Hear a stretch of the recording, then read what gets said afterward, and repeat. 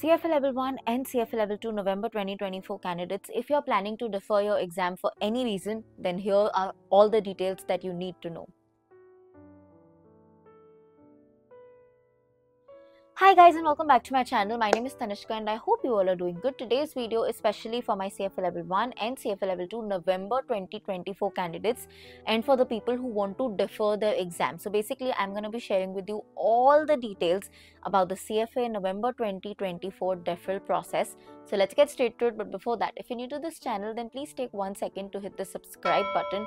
If you've ever liked my work even a teeny tiny bit then please join the community by subscribing to it while you're at it, don't forget to hit the bell icon so that you're notified every time I post a new video. If you're already a part of this channel, then thank you so much for joining me in my journey. I hope we stay together till the end of time. So, uh, CFA level 1 and level 2 November 2024 candidates. First things first, the biggest question that all of you have had since so many days when are the deferral forms gonna begin? So they are gonna begin from 1st of november and they will go on till the 26th of november. This is both for cfa level 1 and cfa level 2 all details are cumulative for both. There's no difference. So once again the forms will open on 1st of november and they will go on till the 26th of november. This includes both paid and emergency deferral forms now, for the people who want to get the paid deferral, honestly, there is nothing much you need to do. The cost is 399 US dollars plus 18% GST.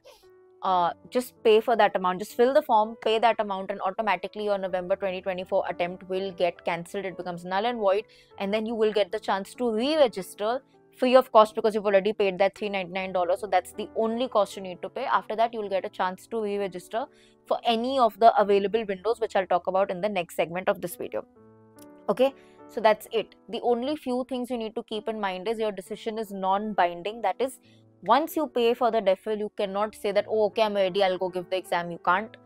Uh, also if you've ever purchased a deferral before in this particular attempt so for example you're giving cfa level 1 uh, for the first time or the second time whatever it is in this particular attempt of yours if you have purchased a deferral before you are not eligible for any paid or emergency deferral in this attempt and you can only purchase the deferral once. That is, if you purchase the deferral in this November uh, cycle, and suppose you choose that I want to give my exam in May 2025, come May you feel yeah I'm not ready, you will not be allowed to defer the exam again.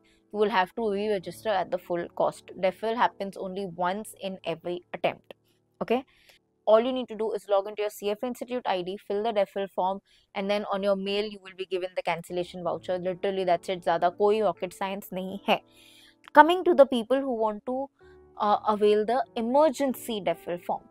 Now, emergency deferral is a very tricky scenario. Initially, uh, people used to really take advantage of this, and obviously, the CFA Institute is not dumb. They have found out that you know people try to put false claims that oh I'm sick, oh I'm dying, very sorry to say but people go to those lengths.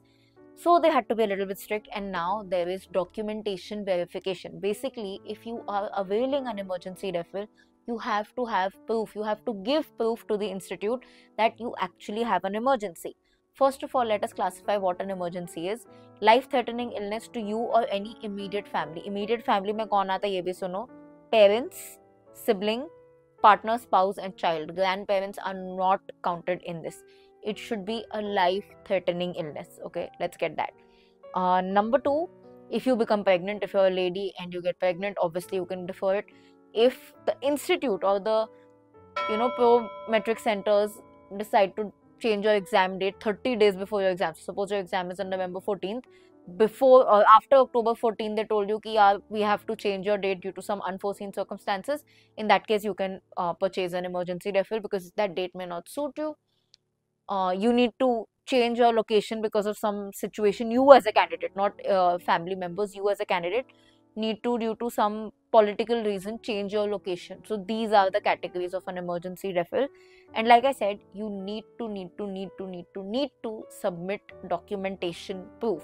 And the glitch or the hitch with the emergency deferral is that they can take up to 7 weeks to verify these documents. So what happens is the institute clearly says that if uh, your emergency deferral is denied or for whatever reason you're, you it's true but they don't find the documentation enough and they may have to deny it you can purchase a, a paid deferral provided that they have checked your emergency deferral and given it back to you before 26th November. If suppose you have applied for the emergency deferral on say 5th November and they do not get back with their verification till say 27th November, that means you will not have the chance to go back to the paid uh, deferral in case they deny your verification. That's why you need to be very, very, very careful with your emergency deferral process. In fact, the institute also clearly says do not risk it. Only if you are sure that you have an emergency and you are pretty confident that it will be approved because आपको obviously पता आपके पास emergency है and you have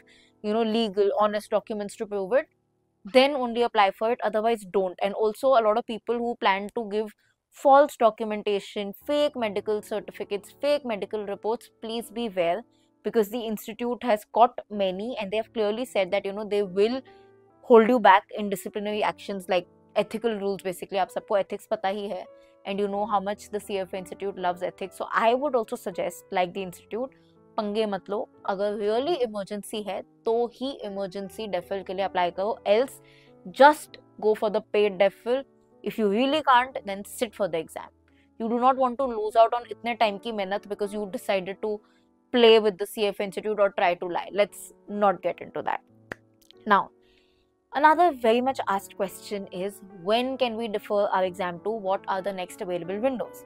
Good news for all of you that yes, Feb 2025 is on the list. You can defer your exam to Feb 2025, but but but you only have till November 7th to do that.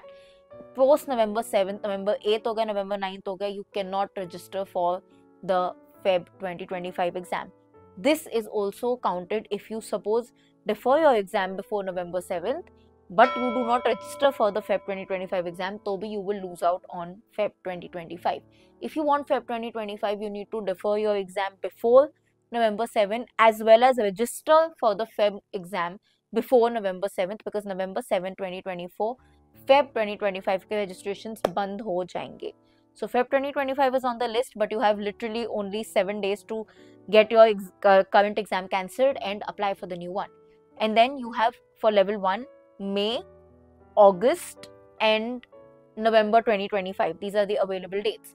For level 2, you do not have Feb obviously, so the next attempt that you can give is straight away May 2025, August 2025, and November 2025. So that's your only available options. Now, again, here people who want to purchase or avail the emergency deferral need to be careful, right?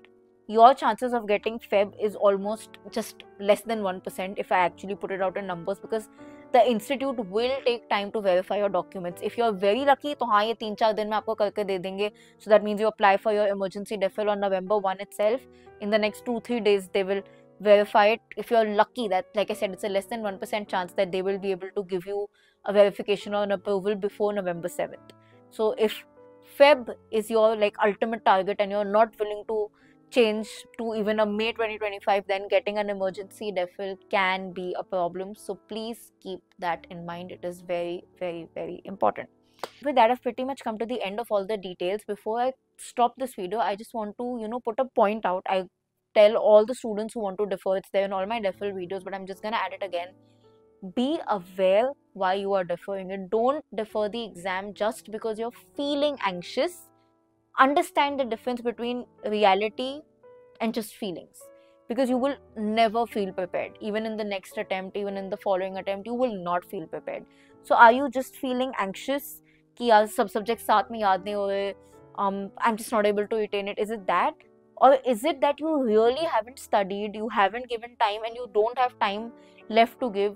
That's why you need to defer it. So just keep that in mind. Like I said, emergency situations are a different thing. I'm not commenting on that because emergency is an emergency. Um, sometimes commitments also come in the way. But in case you're deferring your exam because of anxiety or because you feel like you're not prepared, rethink it. Sit with yourself for 10 minutes, analyze are you just feeling not prepared or did you really not prepare? Because that feeling of not prepared is never gonna go, that's a guarantee. बस यही कहना था and with that, I'm ending this video. If you like it, don't forget to like, comment, share, subscribe. I'll see you guys very, very soon. Until then, keep sparkling and definitely keep learning.